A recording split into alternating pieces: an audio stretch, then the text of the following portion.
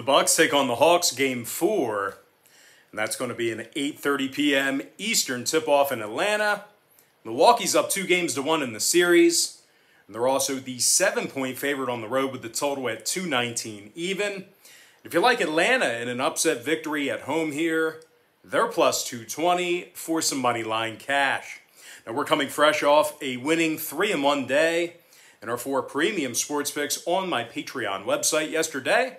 We've also won two out of our last three $1.99 daily best plays on that Patreon page as well.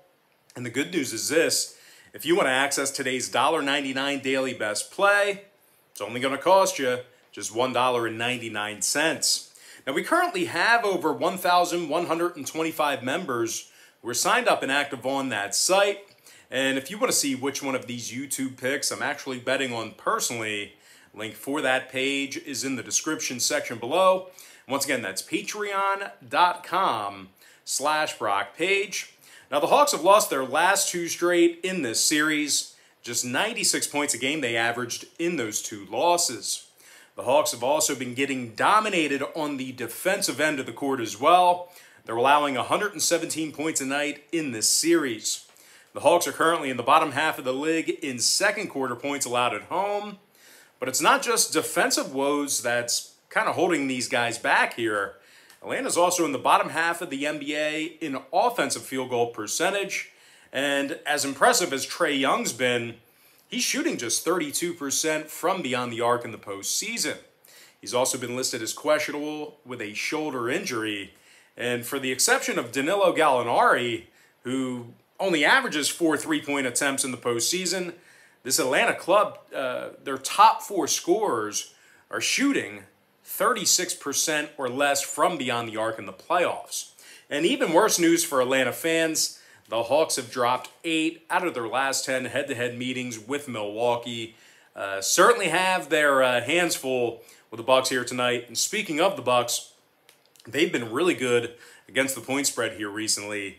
Now, obviously, they successfully covered the number in their last two straight, but they've also covered in five out of their last seven as well. Milwaukee leads the league in scoring and offensive rebounding. They're scoring uh, nearly 119 points a game on average for the entire season, and they make over 48% of their field goals. And of course, most of that is thanks to Giannis Antetokounmpo. He's scoring over 29 a night in the playoffs, 13 boards, 5 assists a game for the Greek Freak. Meanwhile, Khris Middleton's averaging over 23 points a game in the postseason himself. Meanwhile, defensively, Milwaukee's in the top five in defensive field goal percentage, top 10 in road defensive rebounding. Now, total wise, when it comes to the scoring in this one, if you want to see if I'm playing the over or the under in this one, this game's being featured as my $1.99 daily best play on my Patreon website.